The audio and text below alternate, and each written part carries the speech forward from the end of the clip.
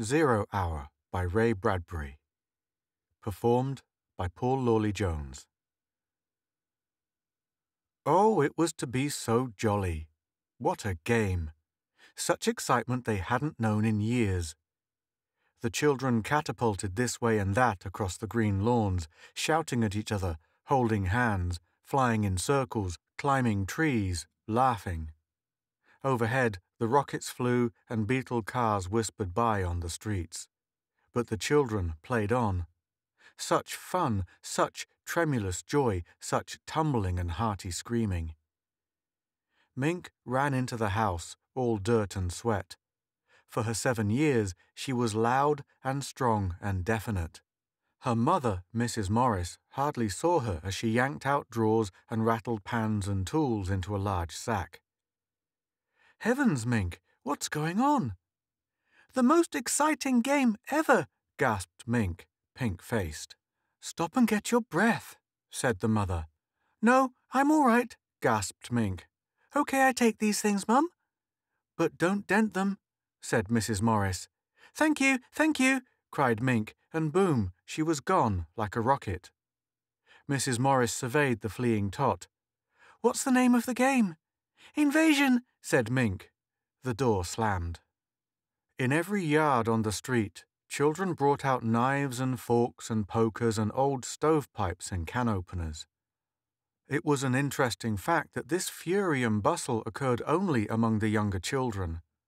The older ones, those ten years and more, disdained the affair and marched scornfully off on hikes or played a more dignified version of hide and seek on their own. Meanwhile, parents came and went in chromium beetles. Repairmen came to repair the vacuum elevators in houses, to fix fluttering television sets or hammer upon stubborn food delivery tubes. The adult civilization passed and repassed the busy youngsters, jealous of the fierce energy of the wild tots, tolerantly amused at their flourishings, longing to join in themselves. This and this and this, said Mink, instructing the others with their assorted spoons and wrenches. Do that and bring that over here. No, here, Ninny. Right. Now, get back while I fix this. Tongue in teeth, face wrinkled in thought. Like that, see? Yay! shouted the kids. Twelve year old Joseph Connors ran up. Go away, said Mink straight at him. I want to play, said Joseph. Can't, said Mink. Why not? You'd just make fun of us. Honest, I wouldn't. No, we know you. Go away or we'll kick you. Another twelve-year-old boy whirred by on little motor skates. Aye, Joe, come on, let them sissies play. Joseph showed reluctance and a certain wistfulness. I want to play, he said. You're old, said Mink firmly. Not that old, said Joe sensibly. You'd only laugh and spoil the invasion. The boy on the motor skates made a rude lip noise. Come on, Joe. Them and their fairies. Nuts. Joseph walked off slowly. He kept looking back all down the block. Mink was already busy again. She made a kind of apparatus with her gathered equipment. She had appointed another little girl with a pad and pencil to take down notes in painful, slow scribbles. Their voices rose and fell in the warm sunlight. All around them, the city hummed. The streets were lined with good green and peaceful trees. Only the wind made a conflict across the city, across the country, across the continent. In a thousand other cities, there were trees and children and avenues, businessmen in their quiet offices taping their voices or watching televisors. Rockets hovered like darning needles in the blue sky. There was the universal, quiet conceit and easiness of men accustomed to peace, quite certain there would never be trouble again. Arm in arm, men all over earth were a united front. The perfect weapons were held in equal trust by all nations. A situation of incredibly beautiful balance had been brought about. There were no traitors among men, no unhappy ones, no disgruntled ones. Therefore, the world was based upon a stable ground. Sunlight illumined half the world, and the trees drowsed in a tide of warm air. Mink's mother, from her upstairs window, gazed down. The children. She looked upon them and shook her head. Well, they'd eat well, sleep well, and be in school on Monday. Bless their vigorous little bodies. She listened. Mink talked earnestly to someone near the rosebush, though there was no one there. These odd children. And the little girl, what was her name? Anna? Anna took notes on a pad. First, Mink asked the rosebush a question, then called the answer to Anna. Triangle, said Mink. What's a tri? said Anna with difficulty. Angle. Never mind, said Mink. How you spell it? Asked Anna. T R I, spelled Mink, slowly, then snapped. Oh, spell it yourself. She went on to other words. Beam, she said. I haven't got try, said Anna. Angle down yet? Well, hurry, hurry, cried Mink. Mink's mother leaned out of the upstairs window. A N G L E, she spelled down at Anna. Oh, thanks, Mrs. Morris, said Anna. Certainly, said Mink's mother, and withdrew, laughing, to dust the hall with an electro duster magnet. The voices wavered on the shimmery air. Beam, said Anna, fading. Four, nine, seven, A and B and X, said Mink, far away, seriously. And a fork, and a string, and a hex. Hex, agony, hex, al. At lunch, Mink gulped milk at one toss and was at the door. Her mother slapped the table. You sit right back down, commanded Mrs. Morris. Hot soup in a minute. She poked a red button on the kitchen butler, and ten seconds later something landed with a bump in the rubber receiver. Mrs. Morris opened it, took out a can with a pair of aluminium holders, unsealed it with a flick, and poured hot soup into a bowl. During all this, Mink fidgeted. Hurry, Mum! This is a matter of life and death. Ah! I was the same way at your age. Always life and death, I know. Mink banged away at the soup. Slow down, said Mum. Can't, said Mink. Drill's waiting for me. Who's Drill? What a peculiar name, said Mum. You don't know him, said Mink. A new boy in the neighbourhood? asked Mum. He's new, all right, said Mink. She started on her second bowl. Which one is Drill? asked Mum. He's around, said Mink evasively. You'll make fun. Everybody pokes fun. Gee, darn. Is Drill shy? Yes. No, in a way. Gosh, Mum, I got to run if we want to have the invasion. Who's invading what? Martians invading Earth. Well, not exactly Martians. They're, I don't know, from up. She pointed with her spoon. And inside? said Mum, touching Mink's feverish brow. Mink rebelled. You're laughing. You killed Drill and everybody. I didn't mean to, said Mum. Drill's a Martian? No, he's, well, maybe from Jupiter or Saturn or Venus. Anyway, he's had a hard time. I imagine, Mrs. Morris hid her mouth behind her hand. They couldn't figure a way to attack Earth. We're impregnable, said Mum, in mock seriousness. That's the word Drill used. Impreg. That was the word, Mum. My, my. Drill's a brilliant little boy. Two bit words. They couldn't figure a way to attack Mum. Drill says, he says, in order to make a good fight, you've got to have a new way of surprising people. That way you win. And he says, also, you've got to have help from your enemy.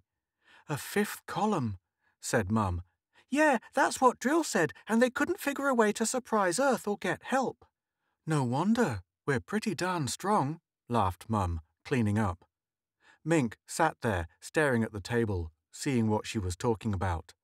Until one day, whispered Mink melodramatically, they thought of children. Well, said Mrs. Morris brightly, and they thought of how grown ups are so busy they never look under rose bushes or on lawns. Only for snails and fungus. And then there's something about dim, dims, dim, dims, dimensions, dimensions. Four of 'em, and there's something about kids under nine and imagination. It's real funny to hear Drill talk. Mrs. Morris was tired. Well, it must be funny. You're keeping Drill waiting now. It's getting late in the day, and if you want to have your invasion before your supper bath, you'd better jump. Do I have to take a bath? growled Mink. You do. Why is it children hate water? No matter what age you live in, children hate water behind the ears. Drill says I won't have to take baths, said Mink. Oh, he does, does he? He told all the kids that. No more baths, and we can stay up till ten o'clock and go to two televisor shows on Saturday instead of one. Well, Mr. Drill better mind his P's and Q's. I'll call up his mother and. Mink went to the door. We're having trouble with guys like Pete Britz and Dale Jerrick. They're growing up. They make fun. They're worse than parents. They just won't believe in drill. They're so snooty 'cause they're growing up. You'd think they'd know better. They were little only a couple of years ago. I hate them worst. We'll kill them first. Your father and I last? Drill says you're dangerous. Know why? 'Cause you don't believe in Martians. They're going to let us run the world. Well, not just us, but the kids over in the next block, too. I might be queen. She opened the door. Mum? Yes? What's lodge ick? Logic? Why, dear, logic is knowing what things are true and not true. He's mentioned that, said Mink. And what's impressionable? It took her a minute to say it. Why, it means. Her mother looked at the floor, laughing gently. It means to be a child, dear. Thanks for lunch. Mink ran out, then stuck her head back in. Mum, I'll be sure you won't be hurt much, really. Well, thanks, said Mum. Slam went the door. At four o'clock, the audio visor buzzed. Mrs. Morris flipped the tab. Hello, Helen, she said in welcome. Hello, Mary. How are things in New York? Fine. How are things in Scranton? You look tired. So do you. The children, underfoot, said Helen. Mrs. Morris sighed. My mink, too. The super invasion. Helen laughed. Are your kids playing that game too? Lord, yes. Tomorrow it'll be geometrical jacks and motorized hopscotch. Were we this bad when we were kids in 48? Worse. Japs and Nazis. Don't know how my parents put up with me. Tomboy. Parents learn to shut their ears. A silence. What's wrong, Mary? asked Helen. Mrs. Morris's eyes were half closed. Her tongue slid slowly, thoughtfully, over her lower lip. Hey? she jerked. Oh, nothing. Just thought about that. Shutting ears and such. Never mind. Where were we? My boy Tim's got a crush on some guy named Drill, I think it was. Must be a new password. Mink likes him too. Didn't know it got as far as New York. Word of mouth, I imagine. Looks like a scrap drive. I talked to Josephine and she said her kids, that's in Boston, are wild on this new game. It's sweeping the country. At this moment, Mink trotted into the kitchen to gulp a glass of water. Mrs. Morris turned. How are things going? Almost finished, said Mink. Swell, said Mrs. Morris. What's that? A yo-yo, said Mink. Watch. She flung the yo-yo down its string. Reaching the end, it it vanished. See? said Mink. Oop! Dibbling her finger, she made the yo-yo reappear and zip up the string. Do that again, said her mother. Can't. Zero hours, five o'clock. Bye. Mink exited, zipping her yo-yo. On the audio visor, Helen laughed. Tim brought one of those yo-yos in this morning, but when I got curious, he said he wouldn't show it to me, and when I tried to work it finally, it wouldn't work. You're not impressionable, said Mrs. Morris. What? Never mind. Something I thought of. Can I help you, Helen? I wanted to get that black and white cake recipe. The hour drowsed by. The day waned. The sun lowered in the peaceful blue sky. Shadows lengthened on the green lawns. The laughter and excitement continued. One little girl ran away, crying. Mrs. Morris came out the front door. Mink, was that Peggy Ann crying? Mink was bent over in the yard, near the rose bush. Yeah, she's a scare baby.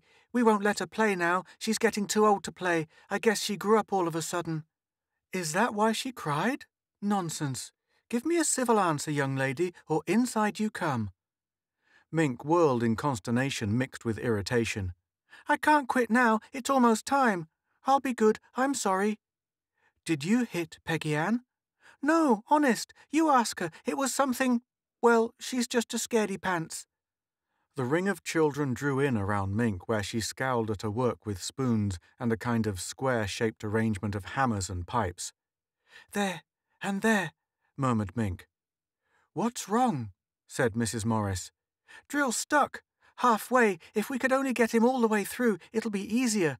Then all the others could come through after him. Can I help?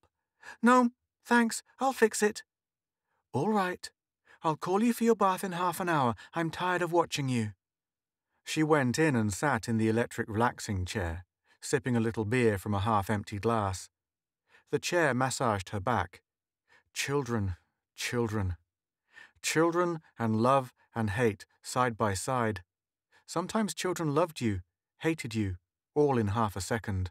Strange children. Did they ever forget or forgive the whippings and the harsh, strict words of command? She wondered. How can you ever forget or forgive those over and above you, those tall and silly dictators? Time passed. A curious, waiting silence came upon the street, deepening. Five o'clock. A clock sang softly somewhere in the house in a quiet, musical voice. Five o'clock, five o'clock, time's a wasting, five o'clock, and purred away into silence. Zero hour.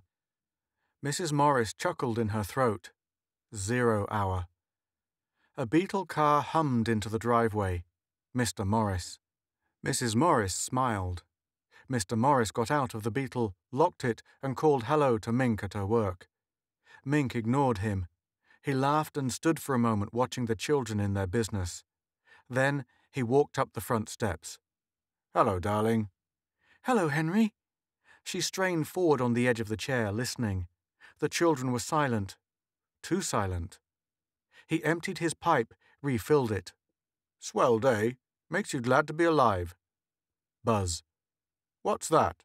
asked Henry. I don't know. She got up, suddenly, her eyes widening. She was going to say something. She stopped it. Ridiculous. Her nerves jumped. Those children haven't anything dangerous out there, have they? she said. Nothing but pipes and hammers. Why? Nothing electrical? Heck no, said Henry. I looked. She walked to the kitchen. The buzzing continued. Just the same, you'd better go and tell them to quit. It's after five. Tell them. Her eyes widened and narrowed. Tell them to put off their invasion until tomorrow. She laughed, nervously. The buzzing grew louder. What are they up to? I'd better go look, all right. The explosion. The house shook with dull sound. There were other explosions in other yards on other streets. Involuntarily, Mrs. Morris screamed. Up this way, she cried, senselessly, knowing no sense, no reason. Perhaps she saw something from the corners of her eyes. Perhaps she smelled a new odor or heard a new noise. There was no time to argue with Henry to convince him. Let him think her insane. Yes, insane. Shrieking, she ran upstairs. He ran after her to see what she was up to. In the attic, she screamed. That's where it is. It was only a poor excuse to get him in the attic in time. Oh, God, in time. Another explosion outside. The children screamed with delight as if at a great fireworks display. It's not in the attic, cried Henry. It's outside. No, no, wheezing, gasping, she fumbled at the attic door. I'll show you. Hurry, I'll show you. They tumbled into the attic.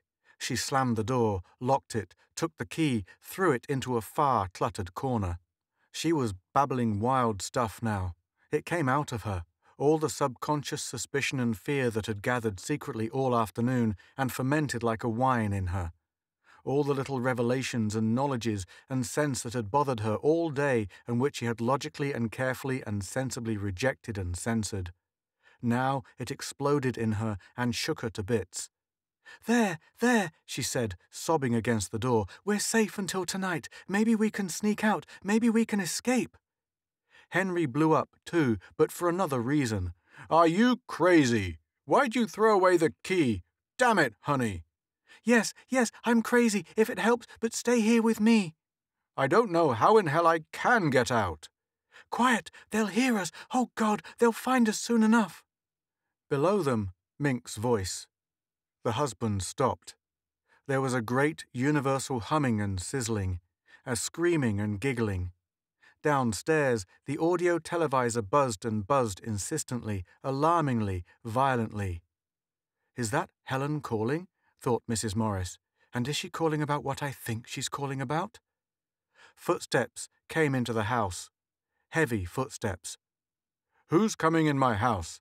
Demanded Henry angrily. Who's tramping around down there? Heavy feet. Twenty, thirty, forty, fifty of them. Fifty persons crowding into the house. The humming. The giggling of the children. This way! cried Mink below. Who's downstairs? roared Henry. Who's there? Hush! Oh, no, no, no, no, no, no, said his wife, weakly holding him. Please be quiet. They might go away. Mom! called Mink. Dad! A pause. Where are you? Heavy footsteps. Heavy, heavy, very heavy footsteps came up the stairs, Mink leading them. Mom? A hesitation. Dad? A waiting. A silence. Humming. Footsteps toward the attic. Mink's first. They trembled together in silence in the attic, Mr. and Mrs. Morris. For some reason, the electric humming, the queer cold light suddenly visible under the door crack, the strange odour and the alien sound of eagerness in Mink's voice finally got through to Henry Morris, too. He stood, shivering in the dark silence, his wife beside him. Mom! Dad! Footsteps. A little humming sound. The attic lock melted. The door opened. Mink peered inside, tall blue shadows behind her. Peekaboo, said Mink. You have been listening to Zero Hour by Ray Bradbury, performed by Paul Lawley Jones.